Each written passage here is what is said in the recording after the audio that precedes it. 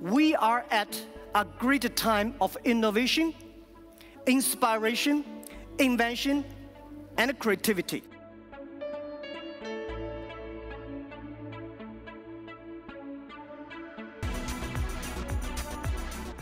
Think it's more than a CeBIT. I think Europe, European is actually important for the Alibaba. And uh, it's great, you know, we have here the CeBIT to understand the countries in Europe. And I strongly believe it's not the technology that changed the world. It's the dreams behind the technology that changed the world. I have a strong dream that we want to help small business. And we're excited to show our, you know, Smile to Pay, this very, you know, new innovation to all of the world. Internet is amazing. Before I come here, search on the Alibaba internet, the e-commerce site. We found a stamp, which is 1948 Hanover Messe Export. And the second year after Hanover, it's a souvenir stamp selling online for 20 euros. So we're gonna buy it now. And how to buy it? We just press buy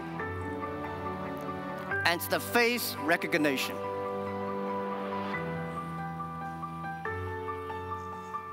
Ah, it works. So in six days, we are going to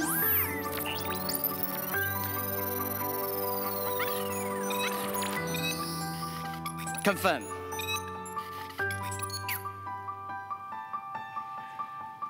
All right.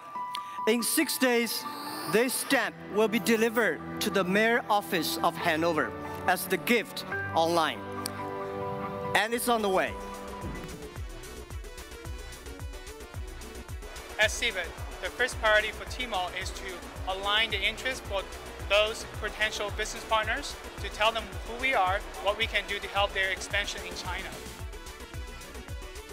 And we are Alibaba.com. We come over here to deliver our message that what kind of benefit really can bring to buyers and suppliers. It's important to be a CeBIT because we want to learn Europe, and Europe is a great place for us to showcase Alibaba's technologies. It's the world belongs to young people. It's the world belongs to the future. And thank you very, very much for listening.